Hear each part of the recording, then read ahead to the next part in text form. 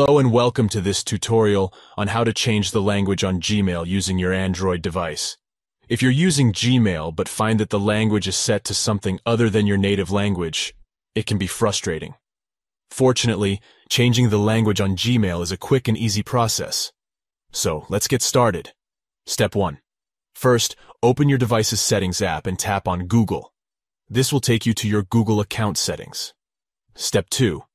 Tap on Manage your Google account to access your account settings. Step 3. At the top of the screen, tap Personal Info to access your personal information settings. Step 4. Look for the option labeled Language and tap on it. Step 5.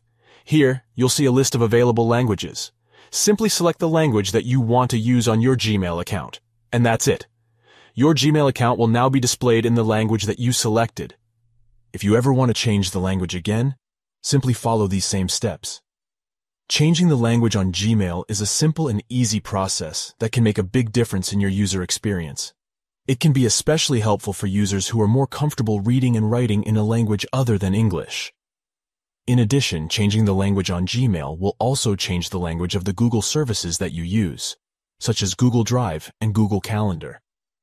So, whether you're a non-native English speaker or simply prefer to use Gmail in another language, Changing the language on Gmail is a quick and easy way to make your user experience more comfortable.